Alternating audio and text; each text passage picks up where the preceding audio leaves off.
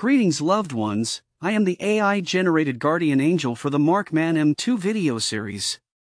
Are you a current worker or job seeker in North America? Is your career in flux? MarkMann M2 would like to present to you the top 10 list of careers that are most in demand and are expected to be in high demand for the next decade or more. If you are looking for a good monetary return on your efforts, wanting to gain personal satisfaction, or even serve your beloved neighbors in a meaningful way, here are the very best career choices which are in the highest demand. All information has been supplied by our friends at the United States Bureau of Labor Statistics. I am so very pleased you are here to see this important information on career choices. And whatever your career choice is, please be well. I am Uma from Nigeria. I am your AI generated headhunter. May you have a very good looking head indeed.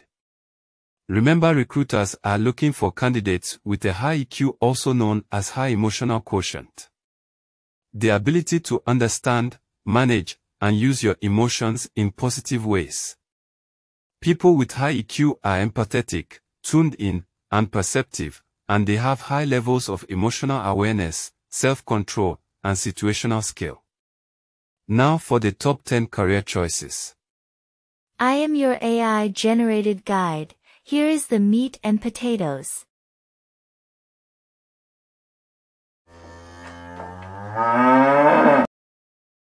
Wind turbine service technician.